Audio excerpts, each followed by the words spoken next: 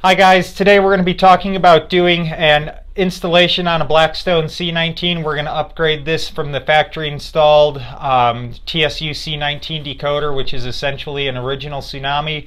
We're going to upgrade this to the TSU 1100 from our Tsunami 2 uh, profile. Okay guys, for this installation you will need a, a few tools, um, basic soldering iron, electrical grade solder and flux. You don't want to use plumber's flux on this installation. Strippers, cutters, X-Acto knife, tweezers, a couple small Phillips screwdrivers for taking the tender tank and factory installed decoder out, and uh, your double-sided tape. Alright, so we've got our C19 here. Just as a reminder, the locomotive and tender is are not separable on this model, so we do have to work with, with both pieces together here. In order to get started to gain access to the tender tank screws, we'll need to remove the first and fourth axle of the tender.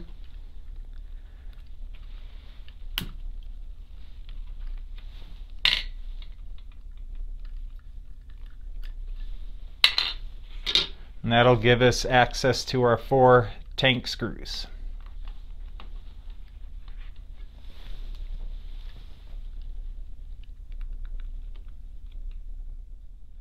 We've got the four screws that hold the tender tank removed. We can set the cradle to the side here. And we will remove the tender tank.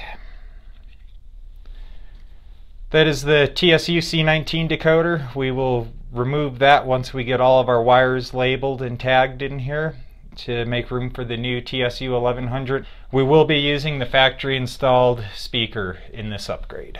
So with the C19 tender tank removed, you can see the um, factory installed decoder. It's equipped with wire connectors on it to make the removal very simple. Um, we're going to unplug the tender truck pickup from the decoder. We're going to unplug the speaker connection. You do want to keep these plugs oriented as far as the area that they came out. We'll be tagging these wires once we remove the the decoder for future identification. And just as a reminder guys, as we're removing these connectors, you want to be very gentle with them. You don't want to remove them by the wire. Make sure you're gripping with your pliers or tweezers on the plug itself and a little wiggle and pull action. Remove the locomotive to tender harness. With the four screws removed from the corners of the decoder, the factory installed decoder can now be removed and set aside. Okay, so I've started tagging our wiring harness inside the tender. We will have a pinout diagram available for upgrading uh, the C19 to a Tsunami 2 showing what wire goes to what wire on the decoder. Once uh, you get the, the two wire tender truck harness identified, we're going to start working on the six wire harness to the locomotive by trimming the wire off the back side of it. We want to trim it flush to the back of the harness to make sure we have the most wire available. Pin 3, which is the cam wire, is not going to be used when we upgrade to the Tsunami 2, as the Tsunami 2 does not need a cam to produce an accurate chuff rate. I highly recommend only cutting one wire at a time off of the harness and tagging it as we go. Six black wires loose in here, it's going to make identifying them pretty, pretty hard. And uh, the tags were real simple to make. Uh, I just used the post-it note, some basic noting, motor plus, motor minus, right rail, left rail. Help us identify things down the road when we start uh, wiring the 1100 up. So once we've got our uh, locomotive wires and tender wires labeled, we can prepare the TSU 1100 for installation. This locomotive only has a headlight, so we won't be using the backup light output nor the FX3 and FX4 outputs. Those have been trimmed short and taped back to the decoder just to stay out of the way. They are insulated on the ends. Alright, so we've got the harness on the 1100 trimmed and ready for the installation. We're going to go ahead and strip and tin these wires so that we can get it tied into the already equipped harness on the locomotive.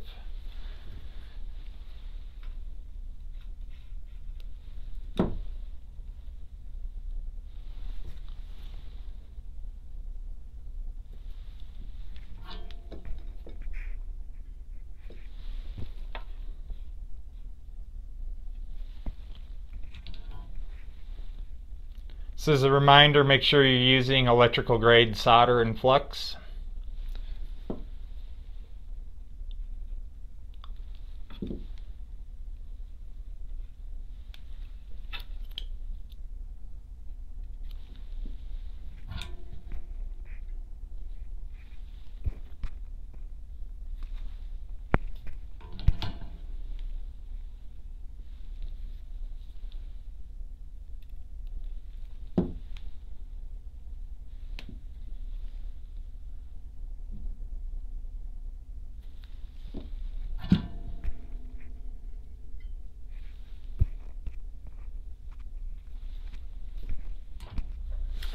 So we've gone in, we've gotten our decoder wired up to the locomotive to tender wiring harness. We've remembered to shrink wrap all of our connections. Next we're going to go in, we're going to solder our speaker wires on. The speaker on this locomotive does not need to be upgraded. It's already rated for 1 watt of power and 8 ohms of impedance. It will work perfect with this TSU 1100.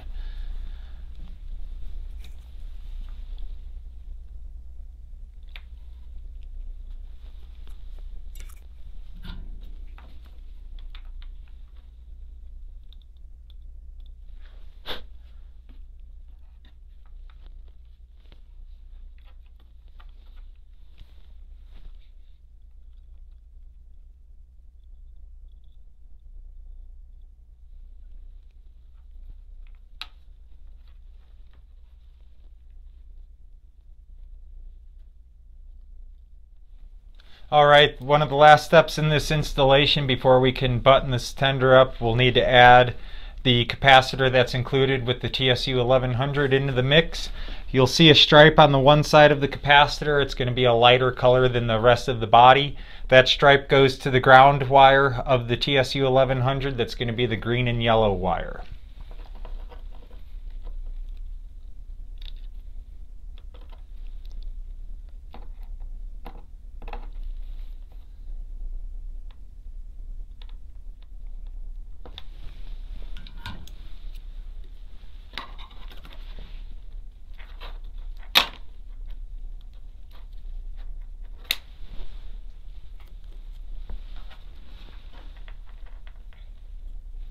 Slip our heat shrink over both posts of the capacitor covering our connection up and we're good with this.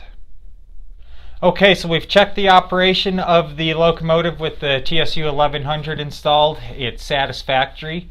We're ready to wrap this installation up. We've got some double-sided tape up inside the tender tank underneath the coal load. That's where this is going to live.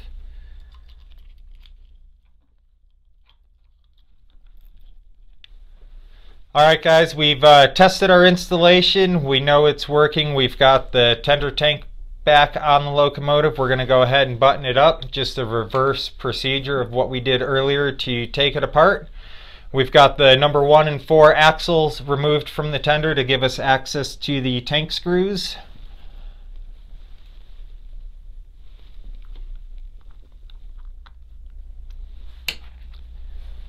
And we'll reinstall the tender wheels again make sure you're paying attention to the insulated area make sure it matches the uh, wheel set that was left in otherwise you will create a short alright guys so that completes the installation of a TSU 1100 from the Tsunami 2 product line on the Blackstone C19 if you have any questions, comments, or concerns about doing this installation, please don't hesitate to contact our customer support department. We're here for you.